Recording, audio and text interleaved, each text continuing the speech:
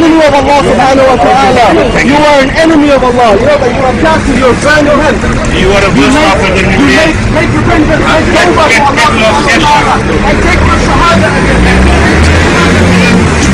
Oh boy. wallahi lying.